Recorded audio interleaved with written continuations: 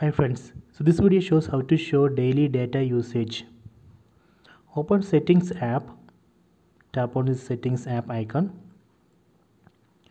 then select notification and status bar. Then here you can see real-time network speed, enable it. When you enable this option, here you can see the real-time internet speed but it won't show you the daily data usage it show you only the real-time internet speed.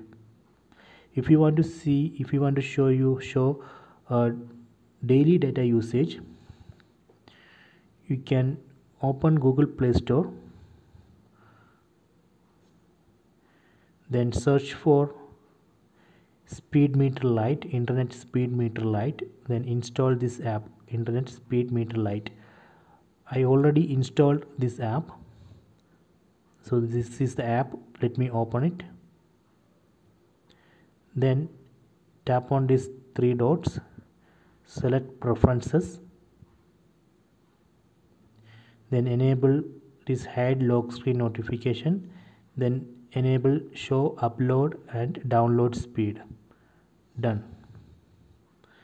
After that you can go to notification. Here you can see download and upload speed plus mobile data usage and Wi-Fi data usage. It shows mobile data usage and Wi-Fi data usage separately. Here you can see Wi-Fi data usage is zero because Wi-Fi is not enabled.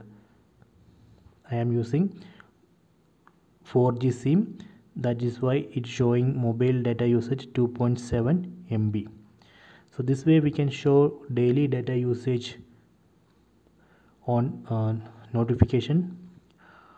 I hope you enjoy this video. Please subscribe my channel. Please like and share the video